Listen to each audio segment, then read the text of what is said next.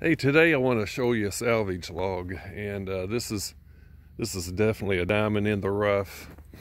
You can see that uh, this tree had fallen down and uh, had been down on the ground about six months, but you can see it was not a healthy tree. It's got this rot damage in the middle. But anyway, I'm milling it up, and uh, it just got some really nice colors. I'll, I'll zoom in here a little bit. There's the, of course, the cherry red, but there's some also real nice gold tone in here. So these these boards are about 18, 18 and a half inches wide. Um, you can see now I'm get, getting closer to the center and getting in some bad spot. But there were four or five real nice slab boards I just milled two inches thick.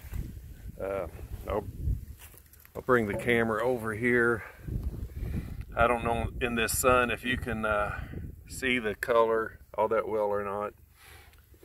You can see I dumped some water on it to bring out the grain. But these could these could make a couple real nice book match tables. They're about a little over nine foot long.